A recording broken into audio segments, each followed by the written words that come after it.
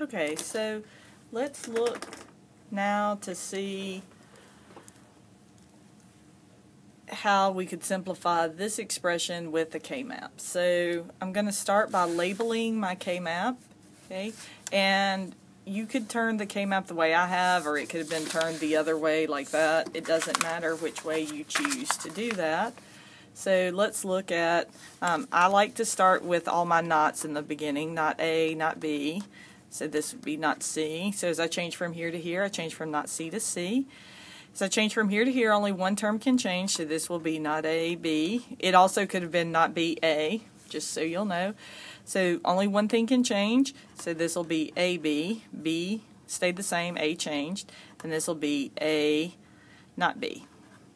So now I'll go everywhere I have a term and put a 1. So I have not A, not B, not C goes here. Not A, not B, C here. A, not B, not C here. A, not B, C here. And A, B, C here. So I'll put zeros everywhere else. So now what I need to do is look for isolated ones and I don't have any isolated ones in this expression. So the next thing I want to do then is look for the largest possible group. So there are two here, there are two here, there are two here, but again this wraps around, so that's actually a group of four, which I prefer.